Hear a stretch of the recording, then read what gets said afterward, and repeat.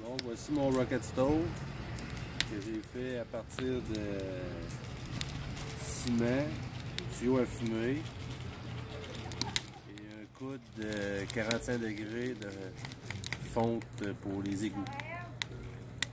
D'abord, euh, j'ai mis une demi-lune.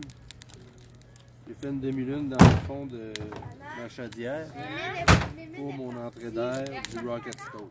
On l'a vu, elle est partie là-bas. Et comme vous voyez, euh, mon coude sert au remplissage pour l'alimentation de mon poêle, mon Rocket Stove. Et C'est mon premier test. À la flamme elle lève bien, il boucane pas trop. Fait que euh, ça m'a coûté environ euh,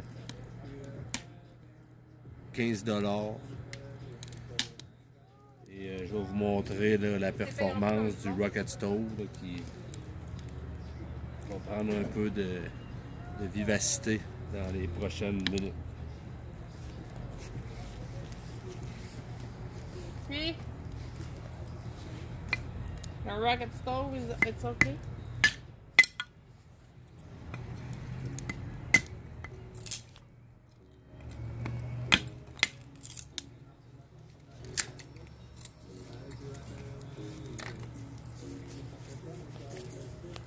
C'est sûr que c'est du 2 par 4 euh, quand même humide.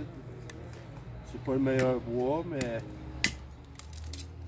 ça va prouver l'efficacité si ça fonctionne bien, même avec du bois qui est pratiquement humide.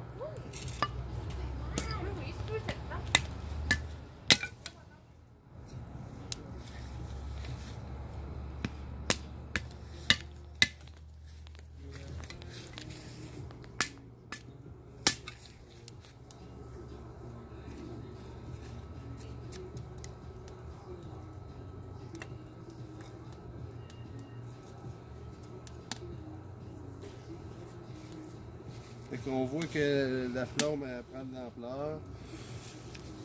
La cheminée est chaude, la tire est bonne, la boucane sort par euh, l'exhaust du top. Il n'y a pas de boucane qui sort par mon entrée de bois. Fait que euh, je suis content. Et oui, j'ai mis du ciment réfractaire à l'intérieur du tuyau à fumer.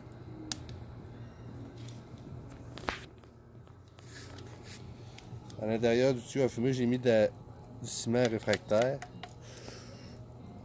pour essayer de le garder plus longtemps euh, en fonction. Ça va l'aider à, à moins perforer vite.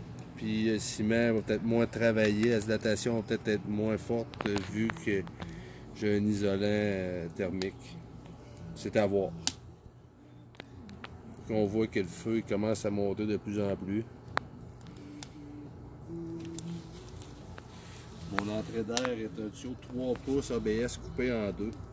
Une demi-lune que j'ai placée au fond, au fond de la chaudière avant de couler mon ciment.